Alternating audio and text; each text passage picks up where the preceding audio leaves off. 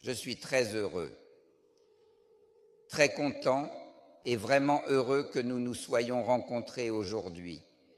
Et apparemment que nous lançons le projet.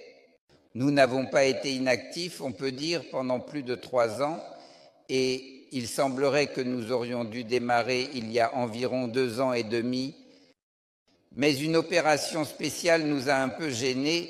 Je ne vais pas entrer dans les détails, bien qu'il y ait eu une bonne conférence juste à côté, nous avons fait une balade en bateau avec des invités du monde entier qui ont regardé ce projet avec approbation, mais cela ne s'est pas tout à fait concrétisé. Je pense que tout ira bien maintenant. Pourquoi les dirigeables? Nous prétendons et proposons des projets qui n'ont pas d'analogue dans le monde. Nous aspirons à un leadership mondial dans ce secteur et nous avons de merveilleux projets à cet égard. Mais maintenant, je vais dire que c'est tout à fait injuste. Il existe quatre modes de vol pour les aéronefs. Aérodynamique, roquette dynamique, balistique et aérostatique. L'aérostatique est en fait la plus économique. De plus, nous ne payons essentiellement aucune énergie pour créer de la portance. La loi d'Archimède agit en fait en quelque sorte comme une sorte d'antigravité et cette qualité précieuse que l'humanité n'utilise pas pour une raison.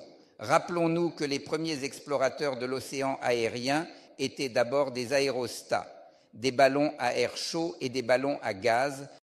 Et ensuite, il y a eu les grands dirigeables, puis seulement sont apparus les avions. Et l'utilisation même de cette loi d'Archimède engendre de nombreuses qualités et propriétés vraiment merveilleuses. C'est aussi en termes d'économie, en ce qui concerne l'énergie, que nous en parlons plusieurs fois. S'il s'agit de l'énergie, il faut garder à l'esprit que l'énergie spécifique requise est considérablement inférieure à celle des appareils plus lourds que l'air, comme les avions et les hélicoptères, ainsi, bien qu'une grande surface immergée puisse être perçue comme un inconvénient en termes de voilure, elle présente un avantage considérable pour l'avenir.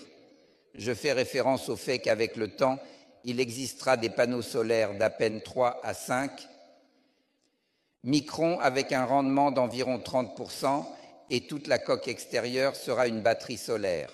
On ne peut pas dire qu'elle pourra voler au soleil à une vitesse de croisière de 150 170 ou 200 km, mais 100 km, c'est possible, et en ajoutant de l'hydrogène. L'hydrogène, qu'il soit liquéfié ou gazeux, nécessite un certain volume et un dirigeable en a suffisamment, contrairement à un avion. Ainsi, à l'avenir, nous pourrions passer à des sources d'énergie totalement écologiques, solaires et hydrogène. C'est un aspect de la question. L'autre, disons, est la sécurité. L'application de la force de flottabilité d'Archimède, le centre d'application de cette force de flottabilité se situe au-dessus du centre de masse. En fait, l'appareil devient statiquement stable à des vitesses moyennes, à des vitesses faibles ou même très proches de zéro. Et nous avons un effet en anti-vitesse. Nous ne pouvons pas tomber en vrille. Tous les moteurs et le système de contrôle sont hors service il n'y a pas de danger particulier pour le dirigeable. Beaucoup d'entre vous, probablement, ont un peu, du moins, peur de voler peut-être en avion. On pourra certainement le faire en dirigeable, mais avec quel confort? Absolument. Dans plusieurs projets, nous proposerons, par exemple, un appareil à deux niveaux où le deuxième niveau sera une version cabine pour deux à quatre personnes avec une salle de cinéma et une piste de danse. En gros, ce n'est pas simplement un vol, c'est un voyage à basse altitude, avec la possibilité de sortir sur une plateforme ouverte. Nous volons très bas, près du sol. Encore une fois, je le répète, ce n'est pas un vol, c'est un voyage, un voyage captivant en fait, il est possible de changer la paradigme dans la logistique de transport en ce qui concerne les appareils de transport. Les lois et les régularités qui s'appliquent lors de l'utilisation de la force de flottabilité d'Archimède diffèrent de celles qui concernent les appareils plus lourds. il existe une régularité cube-carré. Dans le carré, la force de flottabilité d'Archimède augmente avec la surface de l'aile. À au cube de la masse, malheureusement, il est difficile pour l'humanité de créer des avions et surtout des hélicoptères de grande et très grande capacité de charge. Pour un dirigeable, il n'y a pas de tel problème. Ici, le cube au cube, et même le cube à la quatrième puissance, j'ai suffisamment approfondi ces questions en détail dans ma thèse de doctorat, puis je les ai exposées dans ce livre monographie intitulé Dirigeable. Il a donc été développé un complexe logiciel pour l'évaluation de l'analyse technico-économique des dirigeables de nouvelle génération, basé sur l'analyse et la synthèse structurale paramétrique des dirigeables en tant que système technique complexe, composé de systèmes techniques complexes et ici, il y a d'énormes possibilités. J'ai regardé au moins des appareils d'un volume allant jusqu'à environ 5 millions de mètres cubes et d'une charge d'environ 3000 tonnes. Faut-il vraiment construire de tels appareils maintenant? Approximativement, est-ce nécessaire? Peut-être que non, mais 400 tonnes se dessinent pour nous, par exemple, très pour Rosatom, afin de construire des centrales nucléaires selon une toute autre technologie où il y a une demande de l'espace pour transporter des fusées depuis Moscou Oblast, par exemple depuis Samara, et aussi d'autres. Vous savez que nous lançons le site d'essai oriental et qu'il y a des opérations de sauvetage. Oui. Et maintenant, cela se fera non pas par la mer d'Okhotsk et l'océan, mais par l'océan Arctique à travers le pôle Nord. Et là, pour ainsi dire, il n'y a pas eu de cheval qui se soit vautré en termes d'opérations de sauvetage. Elle doit être réalisée avec l'aide de brise-glace il est nécessaire de sauver l'équipage dans un délai de six heures en cas de situation d'urgence. Alexandre Nikolaevitch, puis-je faire un petit commentaire? Est-ce que je vais trop loin? Non, non, je veux parler du fait que tous les projets précédents et lorsque nous cherchions les suivants, nous pensions d'abord qu'ils seraient comme les précédents, qu'ils seraient comme les précédents, et puis cela s'est produit la compréhension que nous n'avons pas un seul ingénieur, mais beaucoup d'instituts de recherche scientifique différents, d'instituts sectoriels, etc., qui en réalité ne devraient pas nous amener à en prendre un seul, mais à en prendre. Et quand Alexandre Nikolaevitch parle de Rosatom et ainsi de suite, ce n'est pas une sorte de fantaisie ou des fantasmes personnels. Aujourd'hui, vous entendrez ici des académiciens réellement en activité, des représentants d'instituts vont prendre la parole, vous verrez par vous-même qui ils sont.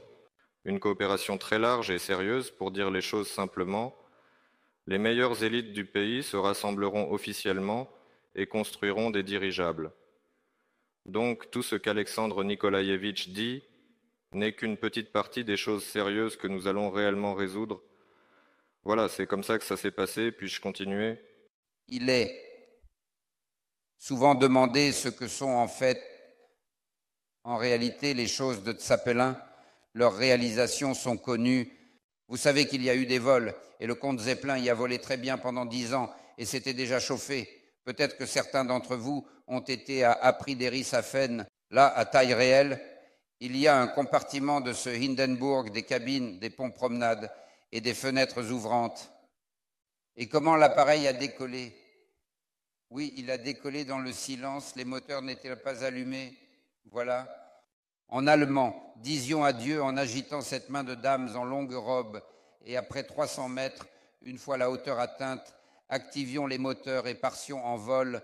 Et quand je me souviens d'avoir parlé avec un pilote américain d'un âge avancé lors d'une conférence, je lui ai demandé comment était le Hindenburg, puisqu'il faisait partie de l'équipage. Il a répondu que sa principale responsabilité était de s'occuper des gouvernails, oui, de maintenir le niveau horizontal, car nous avions pour consigne de ne pas dépasser deux degrés d'inclinaison afin que les dames en robe longue ne renversent pas leur précieux vin et ne gâchent pas leur tenue. Eh bien, c'était de vrais hommes, de vrais hommes qui résolvaient des problèmes.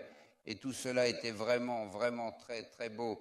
Vraiment, nous devons y revenir, mais à un niveau technique complètement moderne et avec des possibilités plus intéressantes.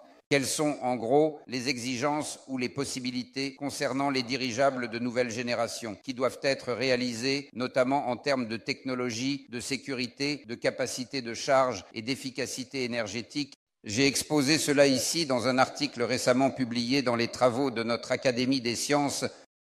Je parlerai de l'aviation des ballons. Bien sûr, la construction doit être considérablement modernisée et nous y travaillons. D'ailleurs, dans notre collaboration, nous avons au moins identifié environ 15 brevets, certificats et principalement des savoir-faire nous pensons qu'il est préférable de garder nos secrets commerciaux et techniques en mode know-how, en toute confidentialité. 15 révolutionnaires, je dirais, fondamentalement nouveaux. Environ, ils concernent également la construction ainsi que l'assemblage général des aéronefs et également, cela a été décidé de manière très malsaine chez Zeppelin à l'époque. En fait, c'est vraiment le numéro un du talon d'Achille des dirigeables, c'est l'exploitation terrestre et proche de la Terre. Et nous avons une solution, eh bien nous devons compter sur des vents d'ouragan, donc si un stationnement de dirigeables est prévu, bien que cela puisse aussi se produire en vol, il sera sur le mât d'amarrage et nous devons maintenir le vent à 35,6 selon les normes internationales de navigabilité pour les dirigeables. Bien que nous prévoyons principalement cela, l'amarrage se fera avec une seule personne, ce qui est très sympathique. Ce qui est le plus intéressant, c'est que notre amarrage se fera sur une petite plateforme au sol, ou disons sur le toit d'un hôtel cinq étoiles au centre-ville. Nous nous posons, faisons descendre les passagers, puis nous repartons. En d'autres termes, voler du centre-ville au centre-ville oui, de tels appareils passagers seront peut-être capables de parcourir jusqu'à deux, au maximum 3000 kilomètres. Nous ne prétendons pas à des vols intercontinentaux, bien que j'ai dans mes archives, ou plutôt dans mon arsenal, un projet intitulé Rêve bleu. Certainement, peut-être qu'à cause de ce projet, je continue certainement à travailler en permanence tout le temps sur les dirigeables. C'est un magnifique hôtel volant.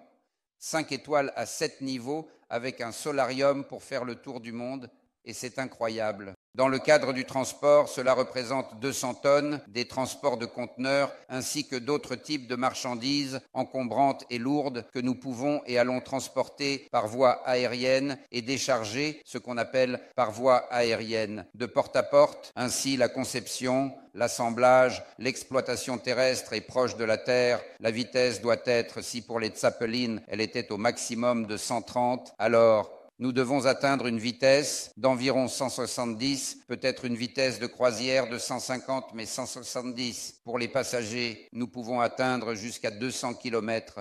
50 zéros, mais 170 zéros passagers, nous pouvons atteindre jusqu'à 200 km. Si nous parlons d'un appareil de 500 tonnes à l'avenir, il est possible d'atteindre une vitesse d'environ 250 km, environ peut-être eh bien, le confort des touristes et des passagers sera tout simplement inégalable par rapport à ce que nous avons dans l'aviation.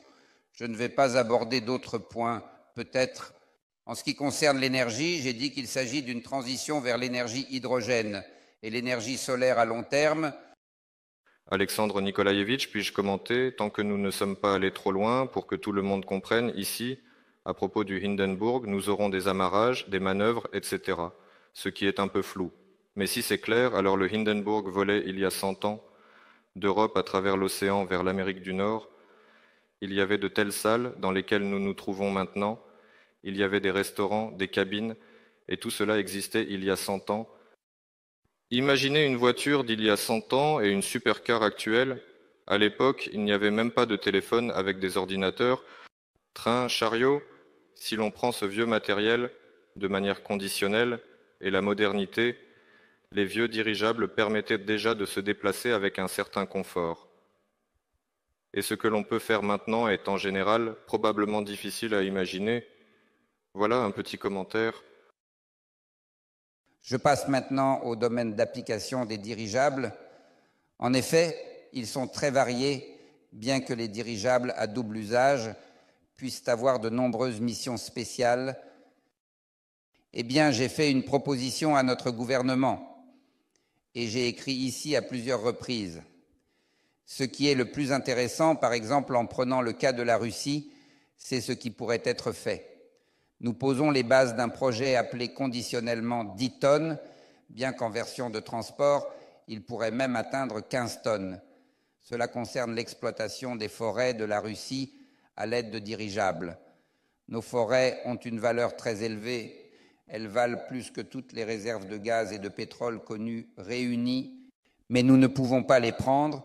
Nous exploitons la coupe de bois calculée à 25, mais au mieux à 30 Si l'on envisage d'aller encore plus loin, disons 50, et de le réaliser avec des dirigeables, il faudrait construire entre 3 000 et 5 000 de ces appareils.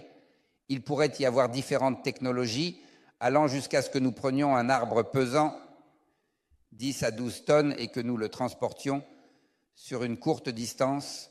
Il faut construire 200 à 400 écovilles en Sibérie et dans l'extrême-orient. Nous commencerons donc à développer davantage la pharmacie, car la chimie y sera en très grande abondance.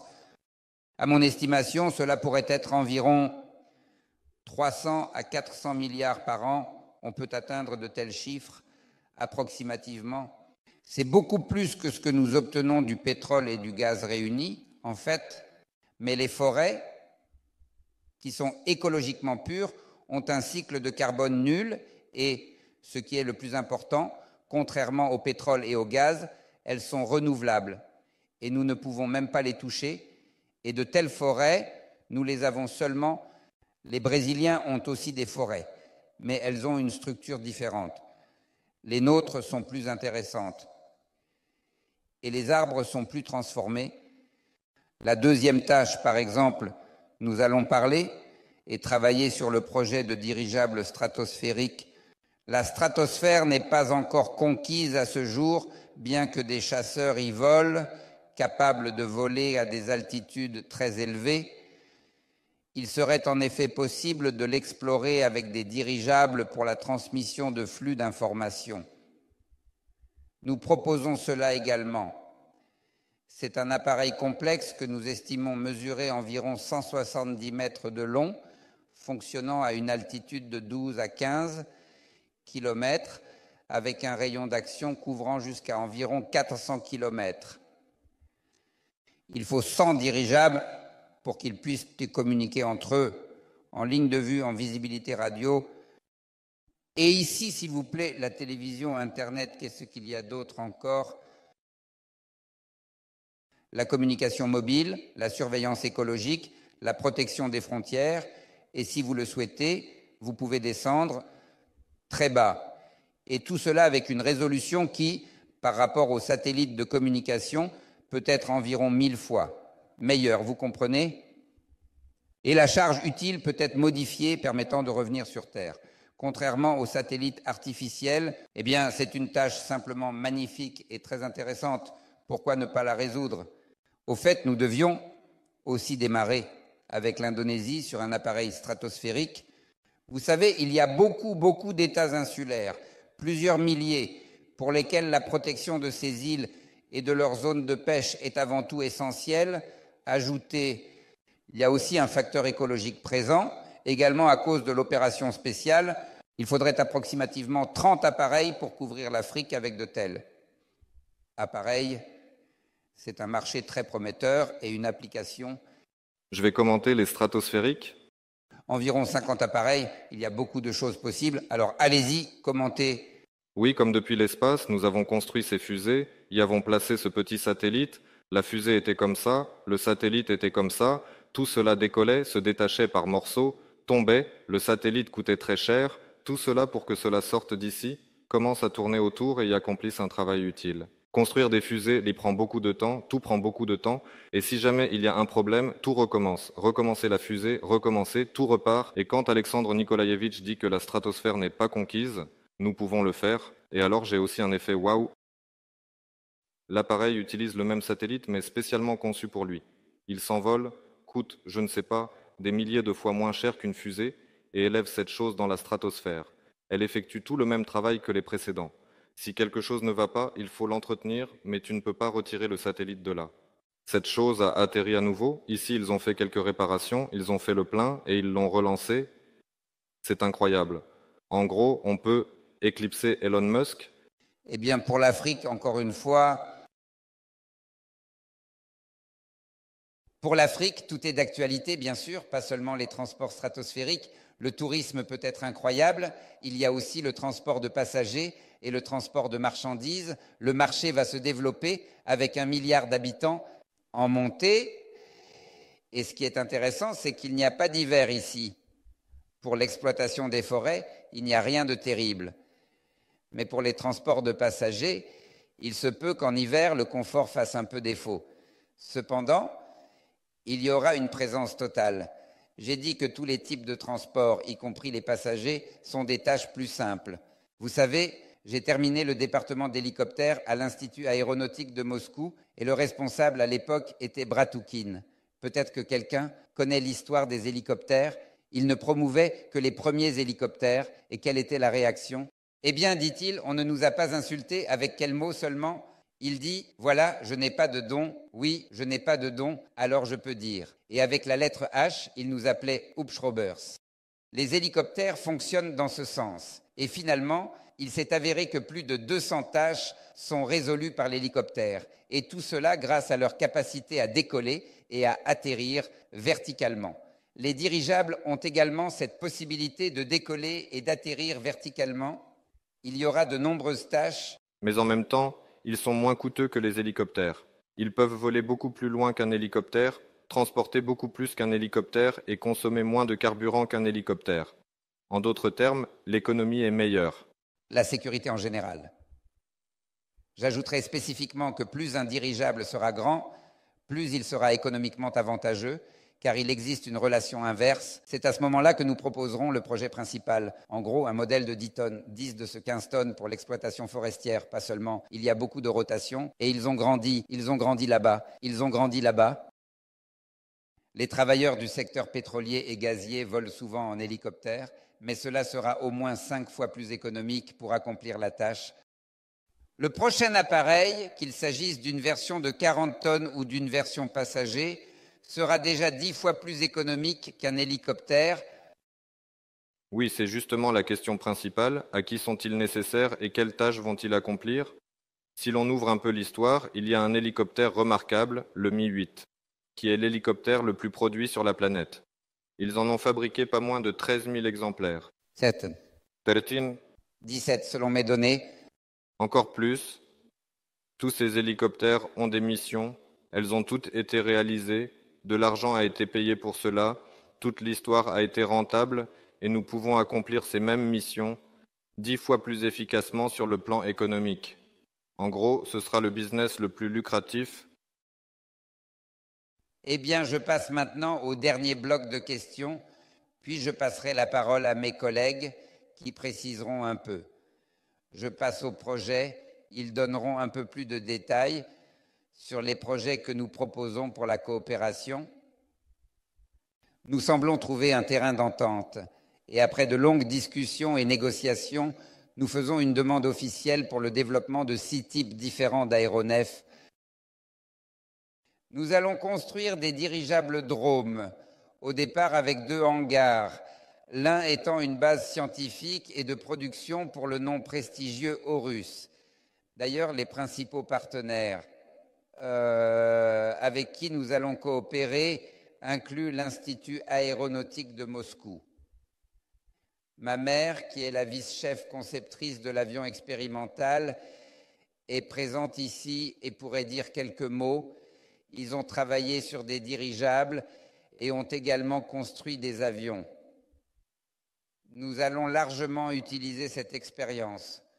Nous allons également impliquer des experts en matière de certification. À côté de moi se trouve le professeur Grumont, spécialiste en aérodynamique et dynamique. Nous les attirons. L'Institut aéronautique de Moscou, la deuxième organisation sérieuse que nous allons attirer est le NAAMI, c'est notre Institut national de construction automobile, en particulier celui qui a développé cette gamme de voitures Zorus. Vous le savez probablement, n'est-ce pas? Bien sûr. Voiture présidentielle, nous allons utiliser le moteur. Nous allons utiliser leur base de production. Ils sont prêts. Voici le nom Horus et c'est l'or de la Russie. Oui, nous avons en fait des idées intéressantes et de faire le corps doré, mais ce sont déjà des petits secrets. Nous ne les révélerons probablement pas pour l'instant. Mais dans nos plans très détaillés et bien pensés, nous prévoyons d'utiliser ce moteur extrêmement puissant de 600 chevaux vapeur impressionnant et robuste qui a été fabriqué avec soin dans notre limousine présidentielle prestigieuse et luxueuse sur la base solide de l'Orus fiable de l'opérateur expérimenté. Ils ont utilisé des technologies italiennes avancées de manière assez large et l'efficacité en termes précis du poids total ainsi que la consommation globale du carburant est vraiment bonne. De plus, ils sont prêts à développer un moteur innovant d'un grand diamètre significatif, nous intégrons soigneusement ce moteur performant dans notre gamme complète d'appareils modernes pour le transport efficace. La transmission sera fabriquée méticuleusement et je pense sincèrement que nous pourrions proposer cette marque Horus renommée pour un appareil présidentiel robuste pesant environ 10 tonnes ainsi qu'un modèle imposant atteignant les 20 tonnes et il est peu probable qu'il refuse cela car c'est une offre exceptionnelle. Nous avons également plusieurs autres coopérations importantes avec des entreprises sérieuses reconnues mondialement dans le domaine aéronautique sophistiqué et spatial complexe comme le Gosnias Repté et nous avons une collaboration sérieuse en matière technique avancée avionique avec eux. Nous serons les plus dynamiques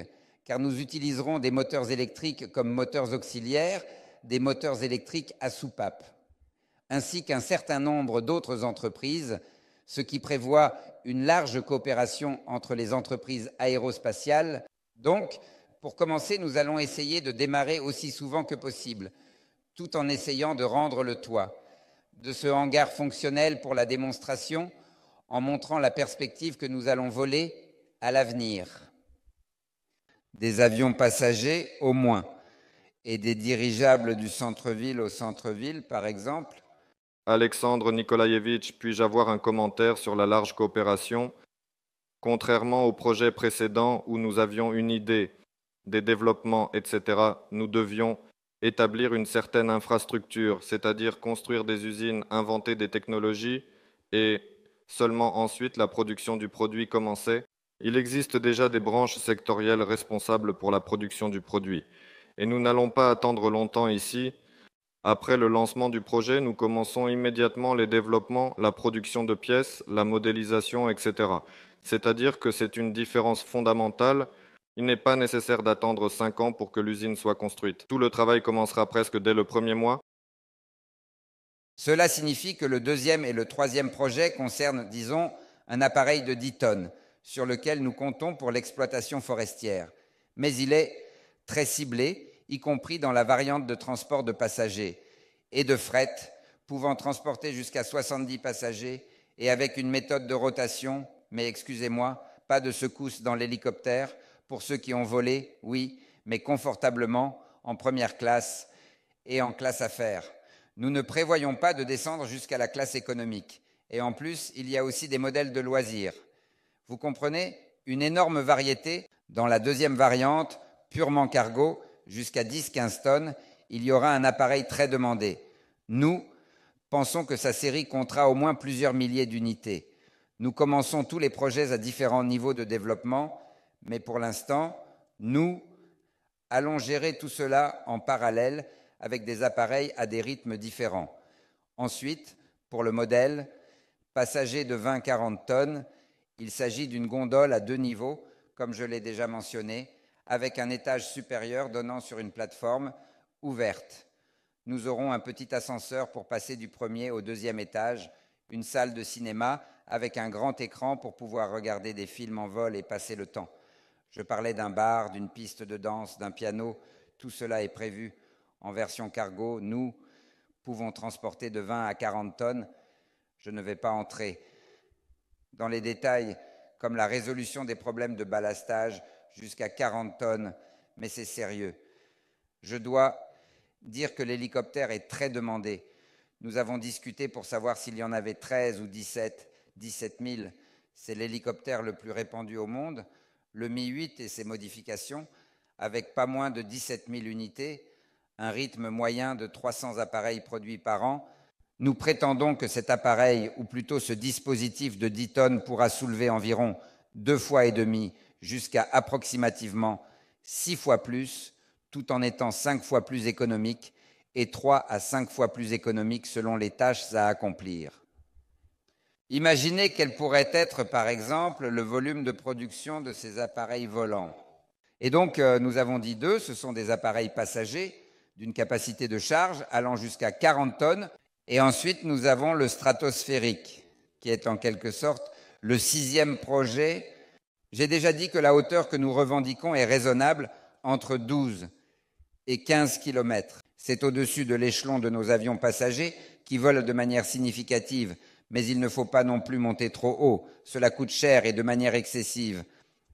Voici six projets de dirigeables drones, qui sont des véhicules aériens innovants et futuristes. Et ensuite, nous prévoyons de construire quatre grands hangars en plus d'un hangar déjà existant, et d'essayer de viser une production en série de pas moins de 100 appareils volants par an, ce qui représente un défi ambitieux mais réalisable. Tels sont nos plans en principe, avec l'objectif de révolutionner le transport aérien